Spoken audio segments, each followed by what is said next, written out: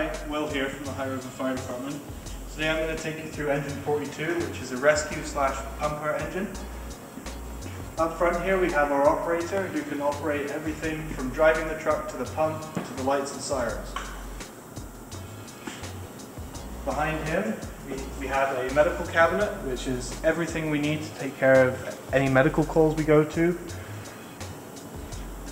Back here behind the medical cabinet have where everyone sits. Here sits the nozzleman, the irons, and the hydrant guy. This is where I'm sitting today.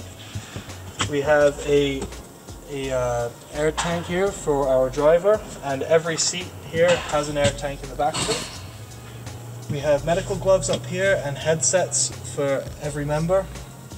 We also have radio charger and flashlights ready to go. This is a thermal imaging camera up here. About it for in here. Back here we have our 44 millimeter crosslays. The guy comes out of this side can grab this one, and if you're on that side, you can grab that one because this nozzle is on that side for this one.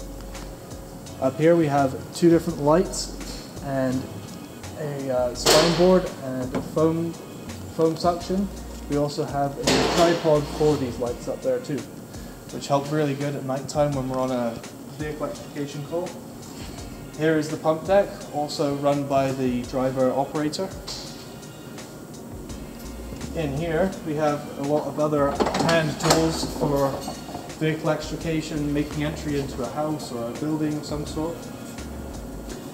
Back here we have all of our traffic cones and our signs and pylons and stuff, so we can stay, stay safe on the road too. Up here, some more connections and a tow strap. And then we have some some tips for our blitz fire and another nozzle, another gated Y under here.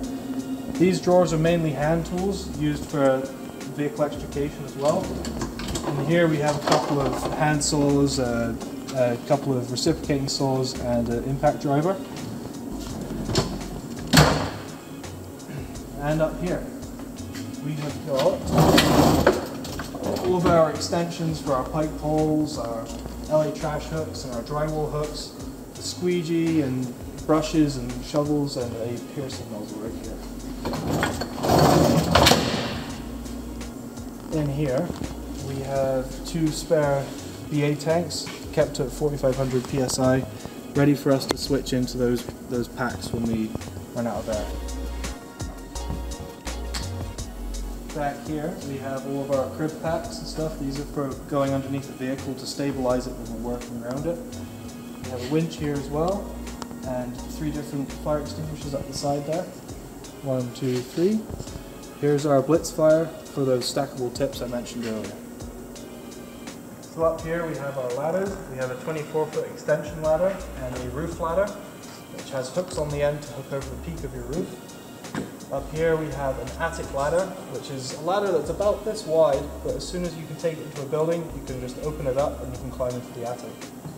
We have also have three pike poles in here, which are used for interior operations, pulling down drywall in the roof, etc. Down here we have the hydrant bag.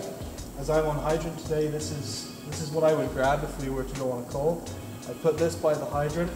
I come up here, I'd grab my hose, put it over by the hydrant, and use all of the tools that's in this bag to connect the truck to the hydrant. So here we have our, uh, our hydraulic tools. We have a hydraulic pump here.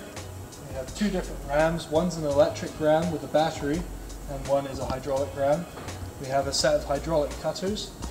We have our hydraulic jaws and our electronic combi tool. I'll show you how it looks quickly button here to turn it on.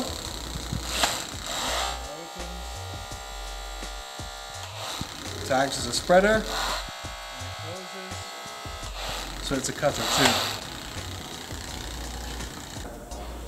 Now up above this we have all our hoses and connections and extension cords and tarps and all the stuff we need to set everything up nicely.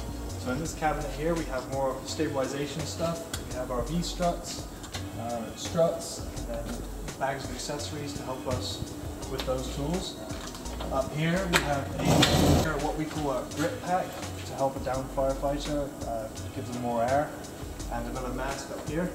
We also have two utility rope uh, bags and flat water. Down here we have four more SCBA bottles, two in here and two in here, and they all have 4500 psi ready to drop into a pack for us to go. In this cabinet here, we have our K12 saw and our chainsaw. Chainsaw we'd use for cutting vents for smoke and roofs, and our K12 saw we uh, use to cut into, say, a garage door for access to a building. Here we have our vent fans for venting smoke and stuff out of the building, and our gas for filling up the saws.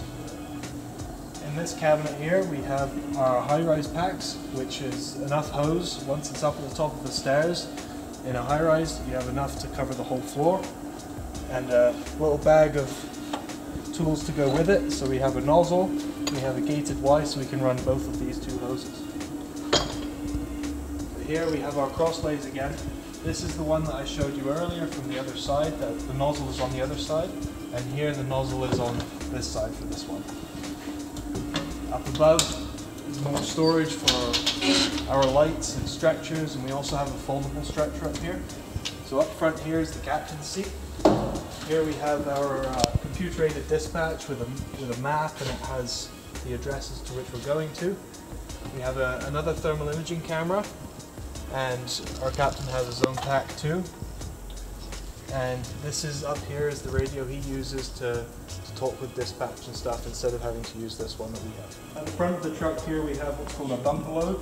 This is usually what we would use if there's a garbage fire or a car fire or something. You can just pull this out, grab two of the couplings, deploy it, and then we can go fight the fire. This concludes our tour of the truck. Thank you for touring it with me and stay safe out there and remember social distancing.